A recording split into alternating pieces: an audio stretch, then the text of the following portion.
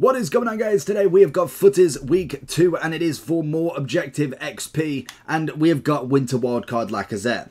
If you do want to fix the whole glitch with it going really slowly, not necessarily going in, just back out of the game. So go onto your Xbox or PlayStation, just press start and quit and then reload it up and you should be able to get it not a problem again if it does happen again just keep doing that it does work out it's a bit annoying but at the end of the day i like to be able to see the objectives with obviously this, you've got to play six games to start with, getting yourselves a winter wild wildcard Lacazette. If you have one, then obviously you can get this done a lot quicker than everybody else, but it is as standard. Winning eight matches with Lacazette, very much like the Lewandowski one. Assist six goals in any matches, and you can do it in one game. Score in 10 separate with Lacazette.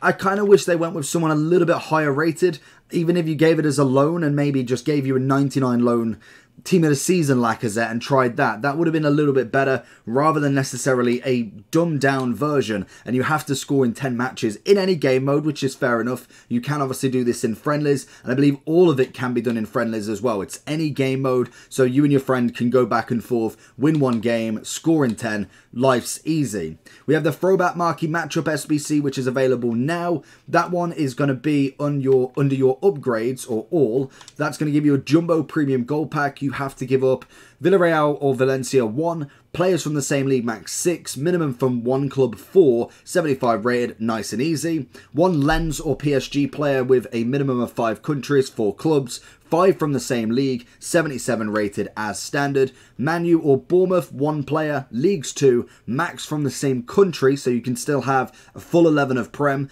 2 rares, 79 rated, and finally, 1 Inter or Napoli player, maximum 3 leagues, not a problem, 3 countries, rare players free, 81 rated, go with a Serie A team. That one's nice and easy. You get Rare Mix, Prime Electrum, Jumbo Premium, and a small Prime Gold Pack. So that one should be nice and simple for you. The last chance of possibly getting a FUTTIES CR7 if you can. And then finally, on the 31st of July, which is in four days. On the Monday, we'll be getting a FUT Birthday Eusebio uh, challenge. You only have to complete the loan, which is always good enough, but I can imagine that will come in at an 81 to 82 rated team with Eusebio as the full one. Normally it's within Eusebio as well, so keep an eye on that. You can get a total of what, 1, 2, 1, 5, 2,000, 3,000 points, which should take us just shy of level 15 at the moment. We should get another objective tomorrow with more XP, so that should take us to at least level 15, and then hopefully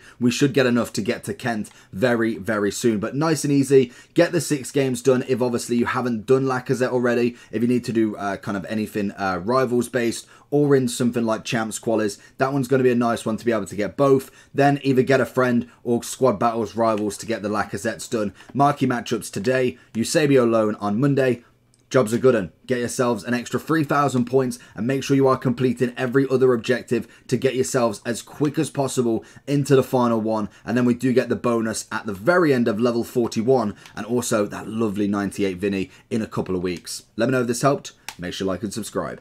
Peace.